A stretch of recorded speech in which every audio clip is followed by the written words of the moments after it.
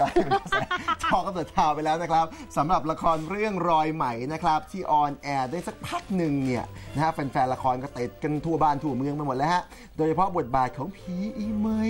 นะครับ ผมจะมีกระแสบอกแอฟเนี่ยน้อยใจอะฟังดูครับ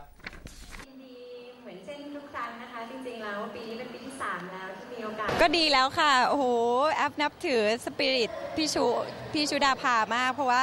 ใช้เวลาแต่งหน้าคือไม่ใช่เฉพาะหน้านะคะ แต่งหน้าทั้งตัวทั้งผมคือแบบว่าเอฟเฟกต์นี่คือหลายชั่วโมงมาก ๆ นับถือ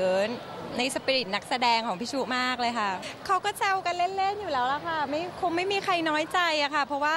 แอฟว่าทุกคนนะคะ ก็เต็มที่กับบทบาทของตัวเองอยู่แล้ว แล้วมันก็ ตราบใดที่มันเป็นคนละบทกันมันเปรียบเทียบกันไม่ได้อยู่แล้วค่ะ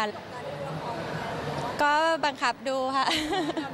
ความสงกรารชมเรายังว่าไงบ้างอะปลื้มกับบทยังไงบ้างอ๋อไม่ไม่ชมอะค่ะค่ะก็อาจจะมีแซวๆบ้างอะไรอย่างเงี้ยค่ะ แต่ว่าก็ไม่แหมคนกันเองก็ไม่ได้ชมอะไรอยู่แล้ว ก็จะมีแต่ถ้าอย่างมากก็คือให้กำลังใจเวลาเราทำงานเหนื่อยๆอะไรอย่างเงี้ยค่ะภาพไปปาร์ตี้วันเกิดกับเอ่อวันเกิดเพชรใช่ค่ะค่ะ สนุกเปลี่ยนเลยในภาพ ก็สนุก ค่ะ แต่ก็สนุกก็สนุกปกตินะคะตอนนี้ก็ happy เนาะอนาคตก็ค่ะ ค่ะก็ติดตามกันต่อไปค่ะ รัก happy ไม่มีสะดุดนะคะ ส่วนละครก็นับวันกระแสแรงขึ้นเรื่อย ๆ ค่ะ โดยแอฟนะคะ เอ่ยปากว่าอยากให้ติดตามเพราะว่าเนื้อหาเนี่ยจะเข้มข้นขึ้นเรื่อย ๆ ค่ะ